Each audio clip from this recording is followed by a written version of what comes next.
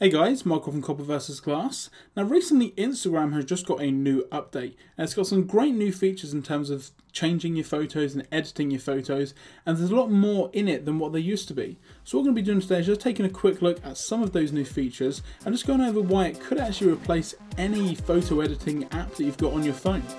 Let's take a look. Now the actual application itself hasn't really changed. You've still got the same tabs on the bottom for Home, Explore, you've then got News and also your own profile, and obviously you've got the Take Photo button just in the middle. And this is where things change quite drastically. So if I just take a photo for you guys real quick just now. And there we go. So we've pretty much taken the photo now, and you can see here that straight away the interface does look slightly different. So you've still got your filters just along the bottom of the screen here. You've then also got some feature in here to actually change the strength of the filter itself, which is nice. So you don't have to have the full effect in terms of the filter.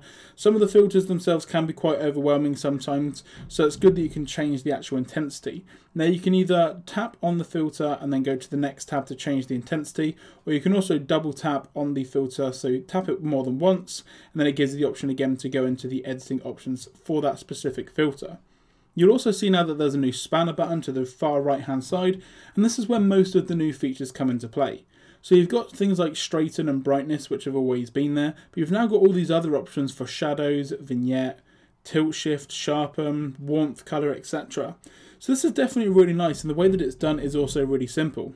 So if I want to go in and change the brightness of this photo, can just click on brightness and you get a slider here which enables you to change the brightness settings really quickly.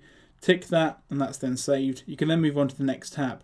One thing that I really like is once you've actually edited one of them, you can see here that a little grey line appears under the one that you've edited. So you can see that I've changed the brightness, haven't changed the contrast, but then if I go into change the warmth, then again it gives a grey line under there. So you can actually be able to see exactly what you've changed on a specific photo, which is definitely really nice.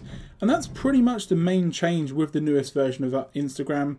Obviously the upload features are exactly the same. You can add it to map, tag people, share it on different social networks, which is definitely nice. And also direct message it to some of your friends as well.